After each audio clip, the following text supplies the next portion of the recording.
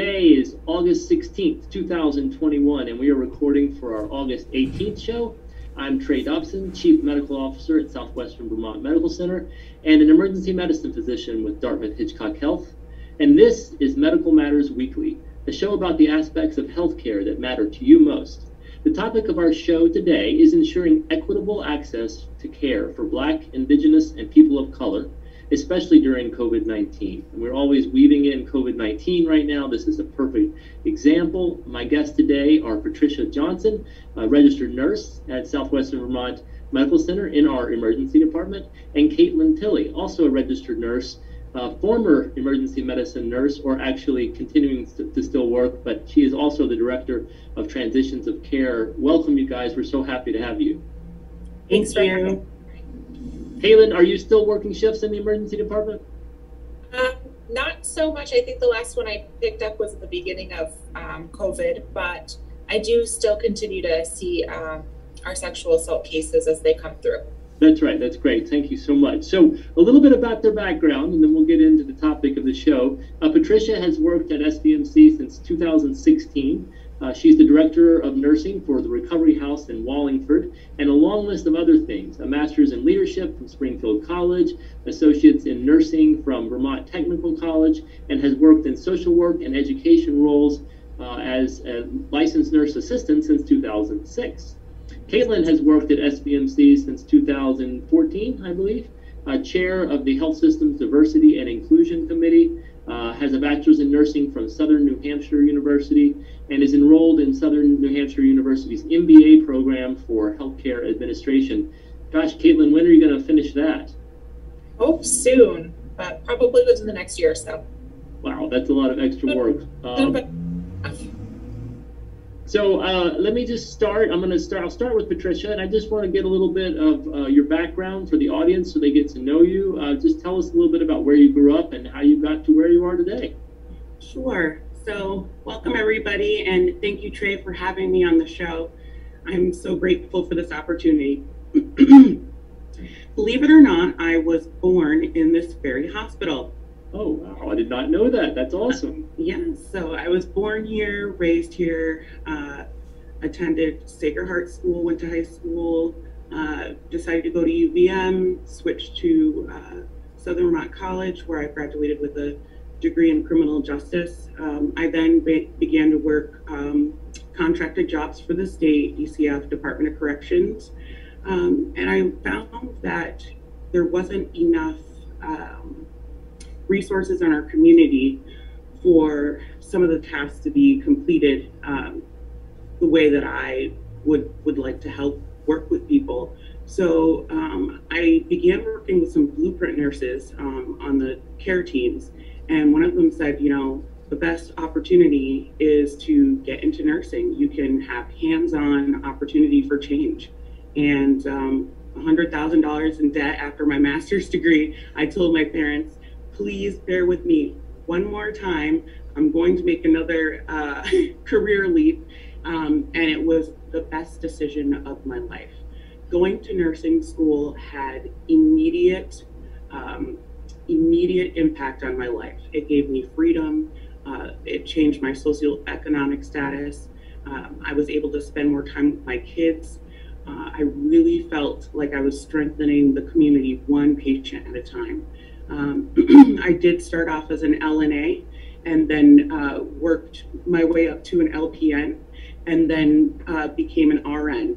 And all of that was possible because of funding that we have here at SVMC. Uh, so uh, it was a ladder program uh, where I got tuition reimbursement and I attended Vermont Tech uh, to get all those credentials, which is a local um, school that we have here for nursing in Bennington.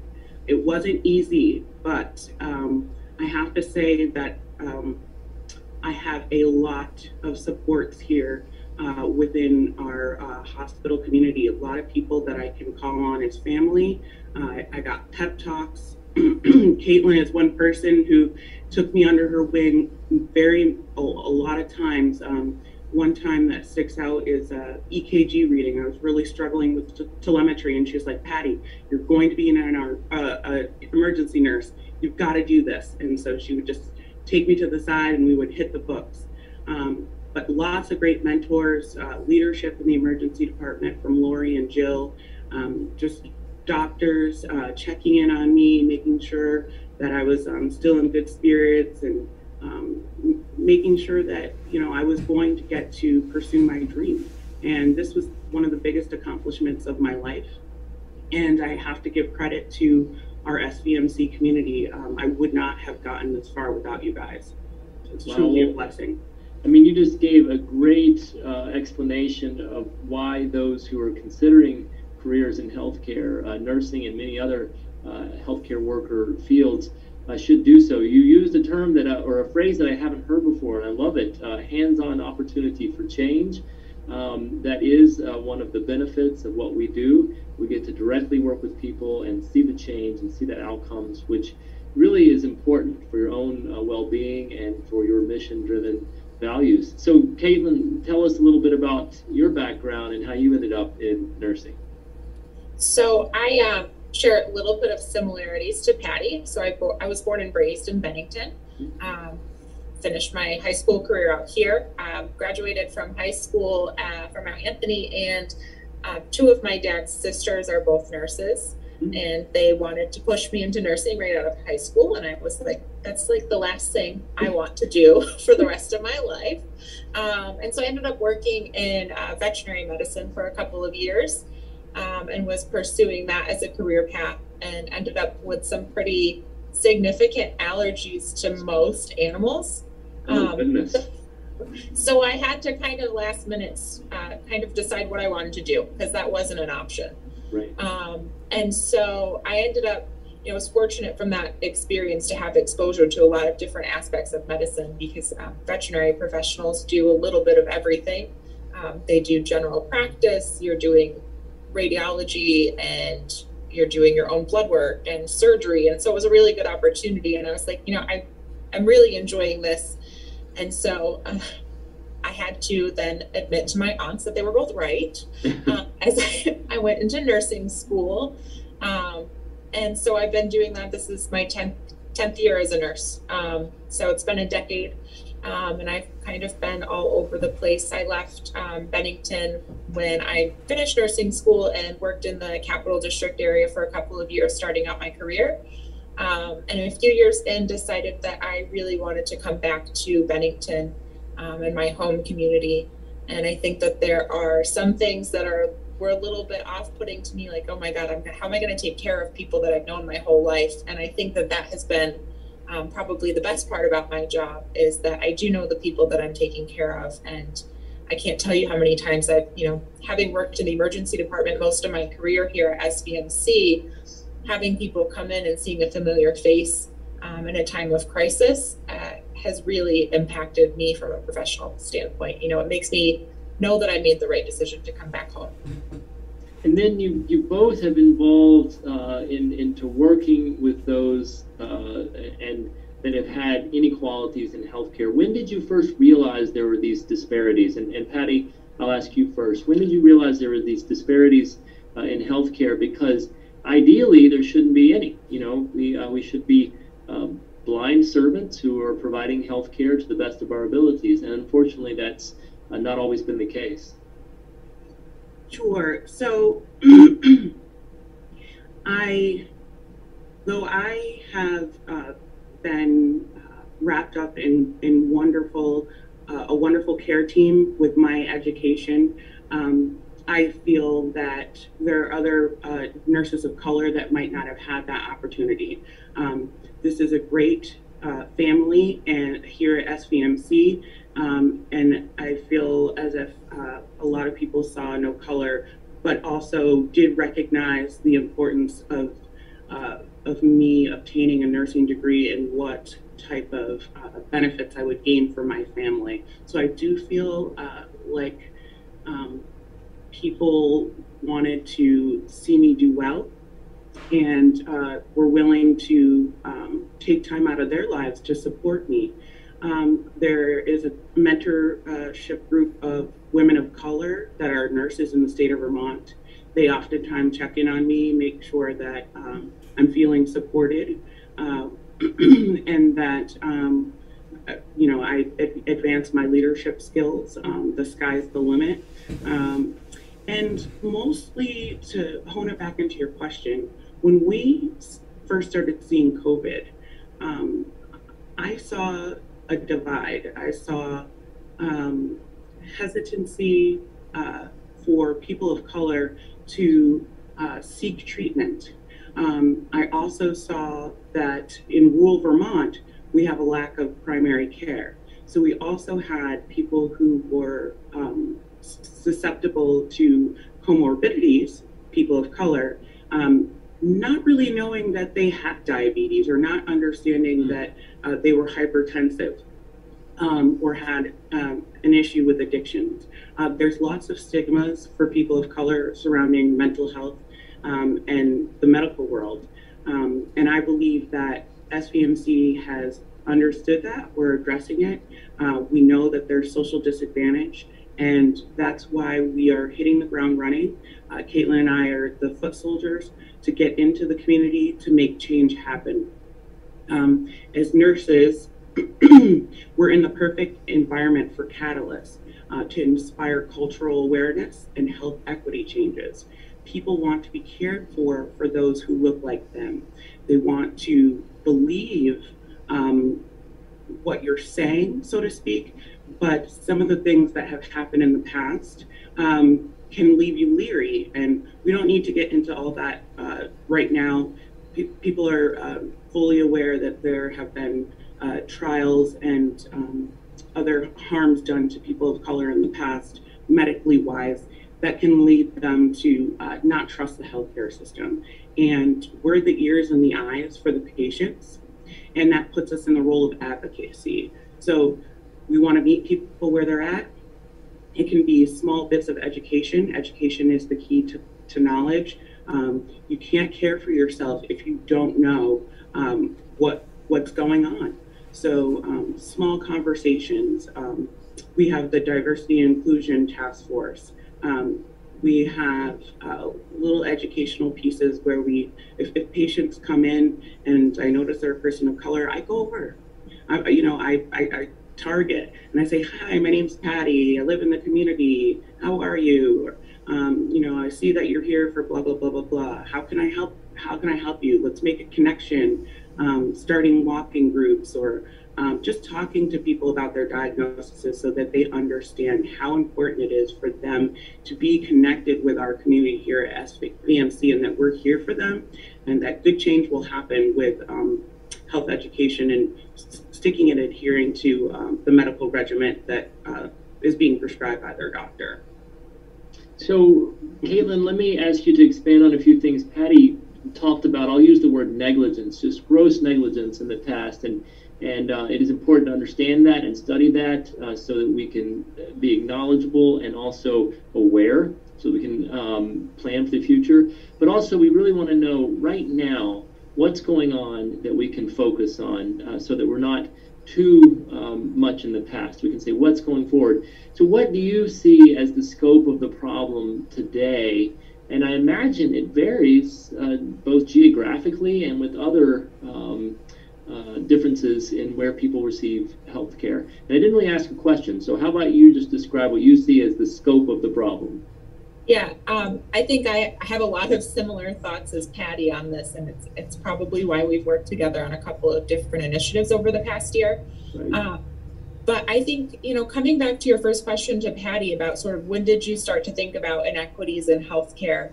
And I mean that that's sort of the what pushed me to leave emergency medicine and work in transitional care with Billy Allard. Um, you know, I was in the emergency department working night shift for God, five years, and we're such an instant gratification specialty. Like, you're sick, we figure it out, we fix you and, and treat you.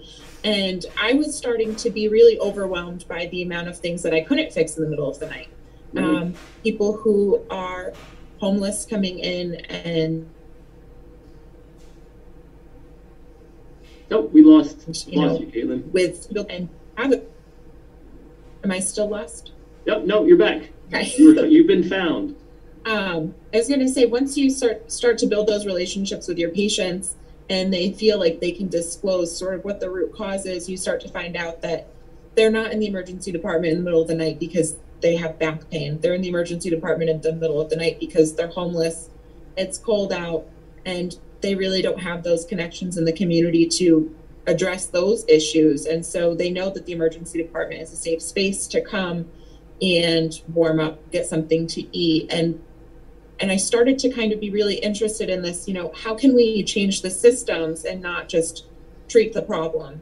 Um, it, it, has always felt a little bit reactive to me, and I wanted to figure out a way to more proactively address some of these things. And so then I met Billy, and um, the first time I met Billy and had that conversation with her about sort of tell me a little bit about what you do and, and what you've accomplished here, I was I knew this was my spot.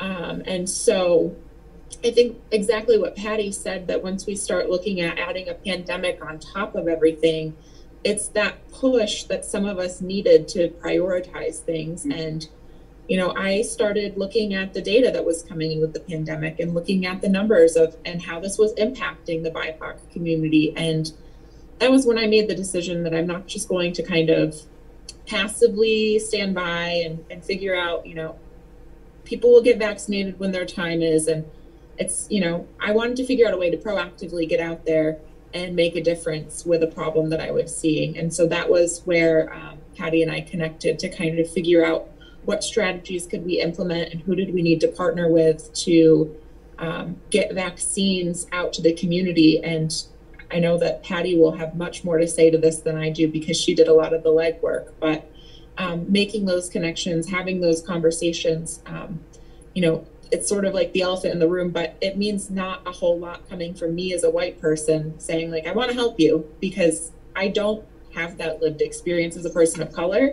Mm-hmm. Um, and so Patty was able to kind of be that spokesperson for the community and really connect meaningfully to say, hey, you you know, we really need to kind of think about this and these are the risks and how can we help you so that you can feel a little bit safer um, seeking seeking care seeking treatment seeking vaccination and you know starting to build those relationships so that we can get people established with primary care providers so that these inequities that come down to things like undiagnosed diabetes and hypertension like patty was talking about we can start to build those relationships with our patients and really impact that change so for for you both, um, I don't mean to put you on the spot here, but um, going a little bit off cue, you, you just brought up something. I've I've wondered a lot. Why did COVID nineteen um, expose to uh, many people who were not aware um, of this disparity? And so I'll just give you a, couple things that have crossed my mind. Sometimes it's just social social maturation, right? Which is I think a made up term I made up once. But social maturation meaning it was at the right time uh, to uh, raise the awareness, and it was the right event to raise the awareness. But there's got to be a little bit more uh, behind that. So I don't know, Patty, do you have any thoughts about where the pressures of COVID-19 sort of exposed this? For for many people, um, of course, they already knew this. They've known it for decades, uh, and they've been trying to raise awareness. Uh, but it wasn't until you know the past 18 months that it's um, sort of come to the forefront of the media. Right, Trey. I mean, it was no secret that the pandemic was disproportionately affecting uh, underserved communities. And in rural Vermont, we had data that people of color were dying almost two and three times more than uh, people who were not of color. Right. Um, and part of that is socioeconomic status, uh, the workforce, the, the jobs that they had, um, being essential workers, um, and um, living in multi generational family homes um, and um, health equity and health literacy. Um, and I know that we need, we were saying herd immunity, but what does that mean? Mm-hmm. Uh, what what does that mean to people? To, to, um, so you you have to legit have the conversation with people that this vaccine was created by people of color. It's not something that just popped up. It's been in the works for a long time. It's trustworthy. Um, model the behavior of getting the vaccine and why um, even if you got COVID after getting the vaccine, it would decrease your chances of being hospitalized. Uh, stress the importance of uh, family and um, and keeping each other safe. If you're not going to do it for yourself, maybe you'd like to do it for your grandmother, who's uh, more susceptible to um, catching uh, the virus because she's got a suppressed immunity. So it's really just making some things uh, less selfless and more community based or family based. Um, people of color uh, have strong ties to the church, religion. Um, so holding things in a church, as we held the uh, the NAACP um, and um, Vermont Department of Health chose the location of a church. Um, it's a safe place, um, and that's that's one thing that we did to be culturally sensitive to uh, the population that we're serving. All right, so actually, it, you know, for the audience here, this was administration and availability of vaccination uh, in different locations. And then you talk about awareness, um, which is so important in that communication. Um, it, it, sounds like you're getting out there in the field um, as opposed to what we're doing right now, which is sitting in our offices, but we're trying to communicate uh, but you were getting out there. That must have been very difficult uh, during a pandemic time, which of course we're still experiencing now. Um, did you were you met with much resistance as you got out in the community? Um, at first, no. Right now is where I see the difficult uh, push. Um, I think that a lot of people had questions um, and were hesitant to get the vaccine at first. Um, and I just want to let you know, I gave out my personal cell phone number and my personal email number. So I was getting contacted by people all over the state of Vermont and Mass in New York um, to try to figure out more information about the vaccine. So all of the information that I used to help educate came from the WHO, the CDC, and the Vermont Department of Health. Um, and you know, some people would FaceTime me, some people would call me, some people would uh, video chat on WhatsApp, um, email back and forth, um, and we would just have plain conversations. Um, you know, what's your favorite thing to eat for dinner, or what what do you guys like to do? What do you guys do way up there in the Northeast Kingdom? Or yeah, um, it's it's we've still got some snow here. Um, I hate shoveling. And then and then once you build a relationship with someone, you're able to have the difficult conversation of um, needing to understand the benefits of getting the COVID vaccine, whether it be Pfizer, Moderna, or um, Johnson and Johnson. Yeah, establishing that connection and then uh, the familiarity that comes with those conversations is what leads to trust. And, and that goes beyond this topic. This is just life lessons. And I think it takes a lot of work to do what you both are doing and what your groups are doing. And I applaud you for it uh, because it would be easy to see these uh, problems, these disparities, and sort of make note of them and then move on to the next thing because we're all busy. And um, and you took the time, and you are taking the time to go out and make a difference. And, and also, I have to say another thing that can um, be a, almost a turnoff is well, we have a low population overall in Vermont of anybody. We hardly have anybody here, 620,000 people. So everything we talk about has small volumes and small numbers, and, and we may not think that uh, they're so important, but in reality, they're incredibly important, and they're what make our state uh, unique and able to be nimble during times like this and, and react.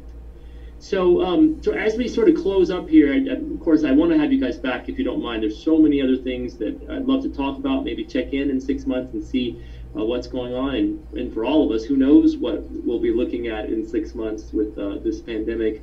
Um, but let me just close with a, a, couple of questions. I'll start with Caitlin. Uh, what major shifts do you think uh, are necessary in healthcare, society, uh, the government, uh, health institutions themselves to deliver care in a more equitable way across groups?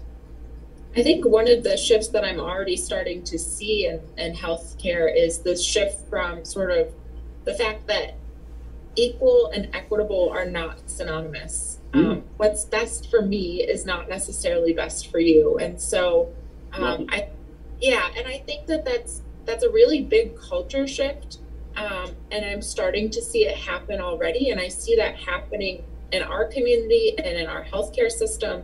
Um, and so that right there tells me that the work that we do is going to get easier because people get it. Um, I will say, you know, Patty mentioned our diversity, equity, inclusion committee, and that started with um, four of us, three nurses and a nurse practitioner. Um, it's a committee of over 45 members now. And it's one of those things where we started out and sort of everything felt like this insurmountable task. Like, this is such a big thing to take on. And how are we ever going to accomplish it? And then you start looking back and seeing all of the different things that you have been able to achieve. Um, and so I see that shift already happening here. I think at a higher level, I think there's converse there, you know, health equity and health inequities are are really big topics right now. Um, I feel like every single medical conference that I've attended in the past couple of years always has like this health equity track running through it. And even if it's not an intentional thing, those are the topics that are coming up because that's the that's what is impacting our our population in this country. Um, and I think the pandemic has just kind of widened those gaps and that doesn't that doesn't just apply to the BIPOC community. That applies to everything. I think this topic in particular is a little bit difficult for people in Bennington to kind of wrap their head around because we don't have a huge population of black people and indigenous people that they know of. And so then you start looking at intersectionality of identities. And um, i think that's the important part that i kind of have to shift that lens a little bit for people mm-hmm. to understand why this is a big deal and why it's really important to address. Because you start thinking like okay i do i actually do know somebody who lost their job during the pandemic and all of the subsequent hardships that that kind of have impacted them since that point in time and um, you start thinking about like you make it relatable and i think that's the challenge in, in this nation is that we've been so divided that people are so on one side or the other. It's not about us versus them. It's about how do we kind of come together and impact a change. And I think that that, I, I mean, I'm speaking for myself, but I feel like we're finally kind of getting to that point um, as a community, as a nation, where it doesn't always feel so unrestful mm-hmm. and that people are kind of starting to come together to work towards the same thing. Um, and so I think that's the biggest shift that I see needing to happen, and it's already in progress. So that's really promising. It's excellent. I, I love what you um, have said there and what you led with. And let me just say, um, you know, I talked about social maturation, which you just explained it uh, society maturing to a point uh, where things that years ago were, were normal are, are no longer uh, by any means um, accepted. But I tell you what, what sometimes hurts, and, and it's hard to keep moving. Uh, and you, you, do such a great job, uh, the two of you and, and your groups that you lead. And that is, it's not just three steps forward and then three steps forward. It's three steps forward, two steps back, and sometimes it's four steps back. And and it's that's just disheartening. It's discouraging. Um, we've seen that over the past ten years through. Um, social uh, movements. And so I applaud you keep pushing forward. Uh, I think medicine is well positioned to keep pushing forward, even if there's other forces that may be uh, in opposition. Let me just close by asking Patty one, one last question. Patty, um, how are you measuring success today with the work that you all are doing? Success is measured for me on an individual basis. Mm. My parents uh, are my biggest support system. And if we can just make someone feel better about a choice or help someone get to a better opportunity, we're successful. Uh. And and that's it's it's totally individualized. Um, they're from the deep south, so they have um, a lot of southern uh, charm and uh, that has has come through in my values and morals. And so it's just treating people how you want to be treated. Um, people will never forget how you um, make them feel.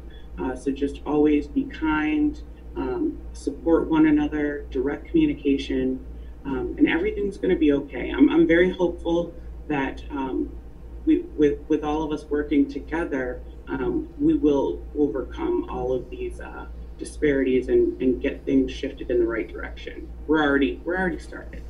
We're already started. Well, we'll end there on such a positive note. Thank you both for joining us today on Medical Matters Weekly. Um, I'd also like to thank CAT TV, Ray Smith from Southwestern Vermont Healthcare, and Ashley Gallant from Southwestern Vermont Healthcare. Uh, next week, we will have Tim Van Orden, who's an elite athlete, a writer, speaker, and nutrition advocate. I'm Trey Dobson. Go out and find joy in everything you do, even in the face of adversity, and we will see you next week.